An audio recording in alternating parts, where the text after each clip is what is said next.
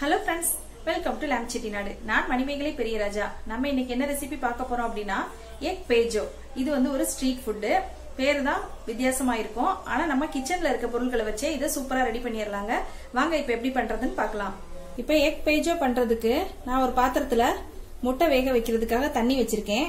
இதுல ஒரு நாலு முட்டைய வாஷ் பண்ணிட்டு சேர்த்துக்கலாம்.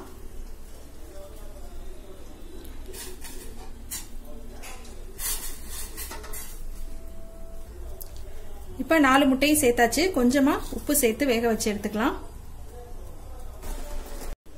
எக் பேஜோவுக்கு தேவையானது வெங்காயம் பூண்டு வரமிளகா.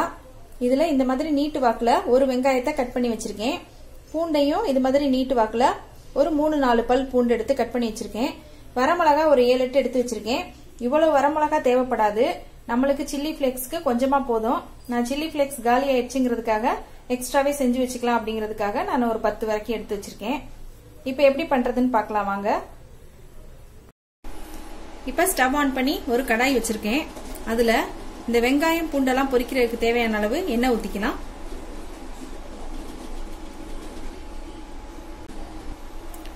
இப்ப எண்ணெய் சூடாயிருச்சு. இதுல நம்ம கட் பண்ணி வச்ச வெங்காயத்தை சேர்த்துக்கலாம்.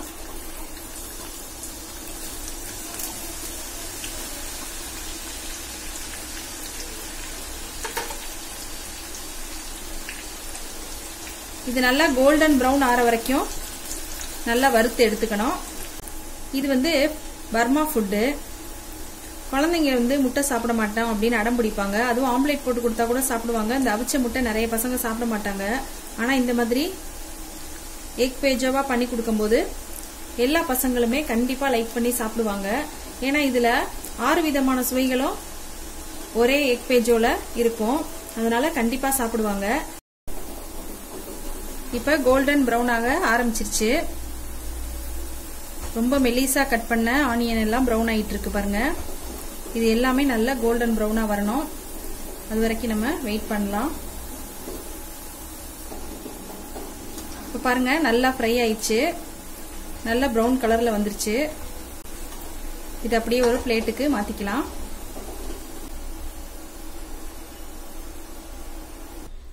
இப்போ கட் பண்ணி வச்சிருக்க பூண்டையும் அதே எண்ணெயில் சேர்த்து வறுத்து எடுத்துக்கலாம். இதுவும் நல்ல கோல்டன் ப்ரௌன் வர வரைக்கும் வறுத்து எடுத்துக்கணும். பூண்டு வந்து டைஜஷனுக்கு ரொம்ப நல்லது. இப்போ நம்ம எக்கோடு சேர்த்து சாப்பிட்றச்ச கேஸ் ட்ரபிள் யாருக்கும் இருக்கும் எக்கு சாப்பிடக்கூடாது அப்படின்னு சொன்னால் இந்த மாதிரி பூண்டு சேர்த்து சாப்பிட்றதுனால எந்த ப்ராப்ளமும் வராது. இப்போ நல்ல கோல்டன் ப்ரௌன் ஆயிடுச்சு பாருங்க. இந்த டைமில் நம்ம இது எல்லாத்தையும் எடுத்துக்கலாம். சூப்பராக கிறிஸ்பியாக ரெடி ஆயிடுச்சு. இப்போ இந்த எண்ணெயிலே நம்ம எடுத்து வச்ச மிளகாயை சேர்த்துக்கலாம். நம்ம வரமிளகாயை சேர்த்து வறுத்து எடுத்துக்கலாம். இதுவும் நல்லா ஃப்ரை ஆன பிறகு எடுத்துக்க போகிறோம் இப்போ இந்த அளவுக்கு நல்லா ஃப்ரை பண்ணி எடுத்துக்கலாம். இப்போ ஸ்டவ் ஆஃப் பண்ணிட்டு இதை எடுத்து ஆற வச்சுக்கலாம். ஆற வச்சு நம்ம மிக்சி ஜாரில் சேர்த்து சில்லி ஃப்ளேக்ஸாக அரைச்சிட்டு வந்துடலாம். இப்போ ஃப்ரை பண்ண சில்லியோட காம்பெல்லாம் எடுத்துட்டு நம்ம அரைச்சிட்டு வந்துடலாம்.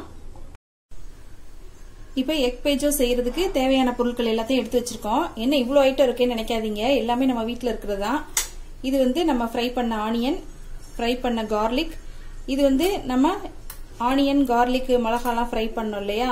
அந்த ஆயில் சில்லி ஃப்ளேக்ஸு இது கொஞ்சமா புளி எடுத்து கரைச்சி வச்சிருக்கேன். புளி தண்ணி. இது ஒரு டீஸ்பூன் அளவுக்கு சர்க்கரை ஒரு டீஸ்பூன் உப்பு ஒரு எலுமிச்சம்பழத்தோட சாறு எடுத்து வச்சிருக்கேன். இப்ப உப்புலையும் சர்க்கரையிலையும் கொஞ்சமா தண்ணி விட்டு கரைச்சிக்கலாம். உப்பு தண்ணி சர்க்கரை தண்ணி ரெடி பண்ணிக்க போறோம்.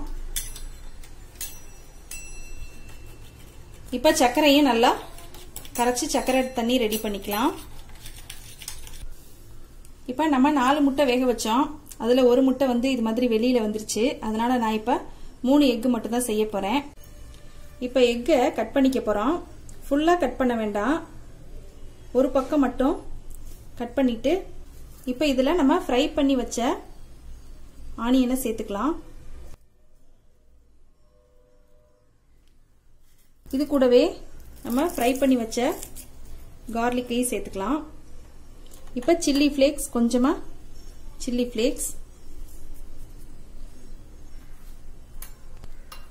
இப்போ நம்ம இந்த ஃப்ரை பண்ணிட்டு வச்ச ஆயிலில் கொஞ்சமாக ஊற்றிக்கலாம் கொஞ்சமாக புளித்தண்ணி. கொஞ்சமாக சக்கரை தண்ணி. கொஞ்சமாக லெமன் ஜூஸ் சேர்த்துக்கலாம் புளிப்புக்காக. இது எல்லாத்துக்கும் சேர்த்து நம்ம சால்ட் எதுவும் சேர்க்கல இல்லையா?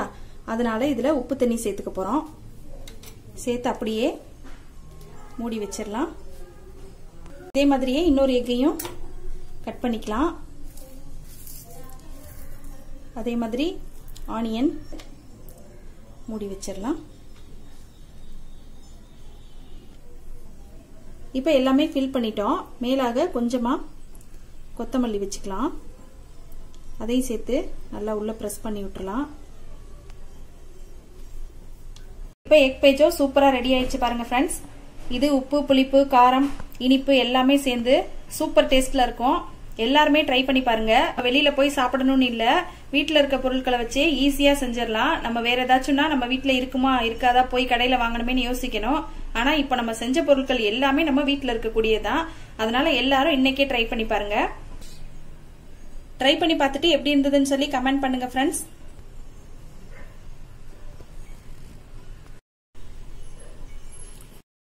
எக் பேஜும் ரெடி பண்ணிட்டோம்.